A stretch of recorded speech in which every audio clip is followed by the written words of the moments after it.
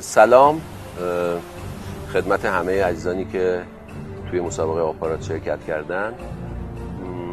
فکر می‌کنم که یه چیزی حدود یه ماه پیش یا بیشتر از طرف سایت آپارات از من دعوت کردن که یه همچین مسابقه رو برگزار کنیم تو رشته بازیگری. که فکر می‌کنم در ایران برای اولین بار توی فضای مجازی برگزار میشه. تو مجموعه کارهایی که فرستاده شده بود فکر می‌کنم که تو گزینش اول حدود بین سی تا چهل تا از کارها رو من انتخاب کردم که خب همشون قابل اعتنا بودن. خیلی کارهای بکر و خوبی بود و استعدادهای درخشانی که جوانایی که یا حتی سنهای بالایی که خیلی خوب تو این زمینه کار کرده بودن. خب من به ذهنم رسید و با دوستان آپارات هم که مطرح کردن قبول کردیم و با همدیگه توافق کردیم که ده نفر رو به عنوان نامزد در واقع اولیه انتخاب بکنیم. اسم نفرات اول تا سوم رو براتون می‌خونم. و در واقع به اون هفت نفر باقی مونده هم اسمشون رو میارم که کاراشون خیلی خوب بوده. نفر اول آقای اسگر نگهداری از نیریز فارس.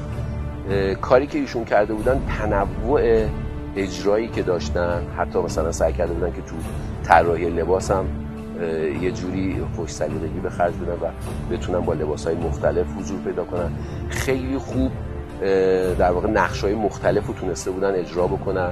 از حال های مختلف از شخصیت های مختلف تونسته بودن یه اتودهایی بگیرن که خیلی اینا رو از همدیگه تفکیک کنه. نفر دوم آقای علی جانپرستی از خراسان رضوی شهر مشهد. ایشون هم که با اینکه سن و سال کمی داره ولی حالا اگه شما تصویرش رو ببینید متوجه میشین که چرا ایشون انتخاب شده به عنوان نفر دوم. بیشترین تاثیر رو به نظر من توی بازی و در برقراری ارتباط با مخاطب داشت یعنی طوری بازی می‌کرد که می‌تونیم بگیم نوع کار ایشون ضد بازی بود. از اون بازیایی که کاملا به دل میشینه و فاصله زیادی رو ایجاد می‌کنه. نفر سوم هم خانم بهناز فاطمی از شهر تهران که خیلی راحت بودن توی بازی کردن.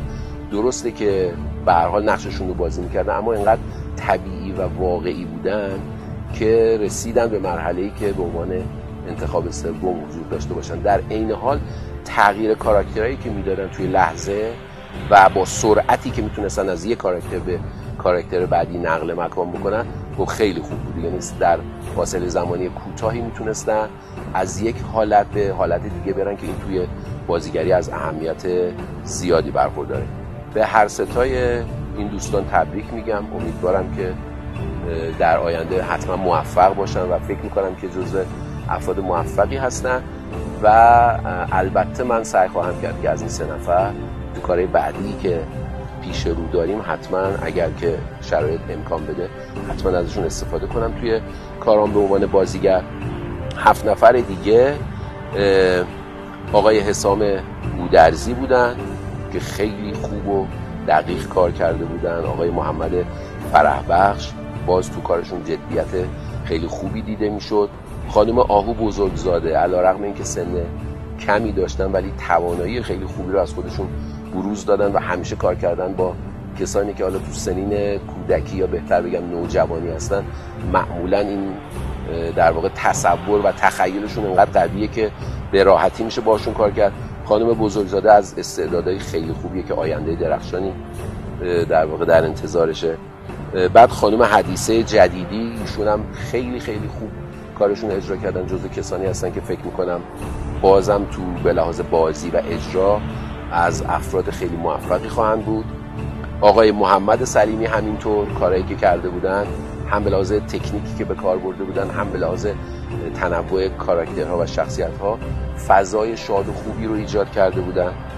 آقای سعید قنبری باز جزو کسانی بودن که خیلی خوب تونسته بودن از قالب خودشون بیرون بیان و تبدیل بشن به یه کاراکتری که حالا یه مقداری خب ویژگی های عادی و نرمال نداره خب این کار سختیه توی بازیگری و خیلی خوب تونسته بودن از عهدهش بر بیان.